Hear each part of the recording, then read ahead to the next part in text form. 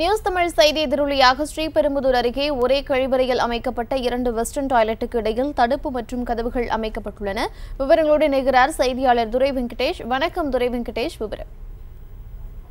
கண்டிப்பாக கார்த்திகா காஞ்சிபுரம் மாவட்டம் ஸ்ரீபெரும்புதூர் அடுத்த பிள்ளை பகுதியில அமைந்துள்ள சிப்காட் தொழில் பூங்காவிற்கான சிப்காட் திட்ட அலுவலகமானது.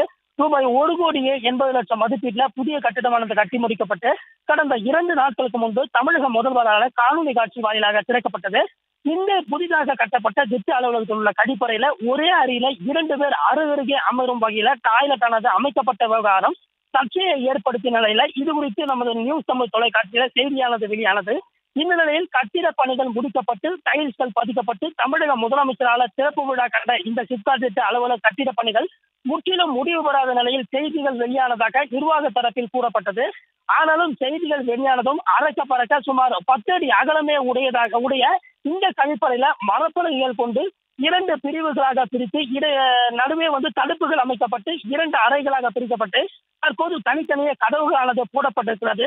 ஆனாலும் கூட இந்த குறுகிய இடத்துல இரண்டு டாய்லெட்டுகளாக பிரித்து இட நெருக்கடி இருக்கும் என தெரிந்தும் பெயருக்காக டாய்லெட் என்கிற வகையிலேயே இது இருப்பதாக சமூக வலைதளங்களில் இப்புகைப்படத்தினை பரப்பி நெட்டிசன்கள் கேலிகளுக்கும் கிண்டல்களுக்கும் உள்ளாகி மீண்டும் சர்ச்சையை ஏற்படுத்தியிருக்கிறது கார்த்திகா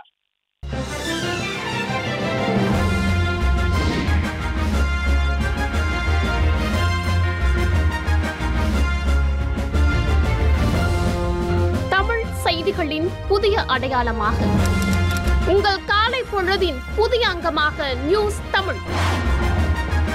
செய்தி வழங்குவதில் உலகத்தரம் இணைந்திருங்கள். காலை ஆறு மணியிலிருந்தே உங்கள் நியூஸ் தமிழோடு.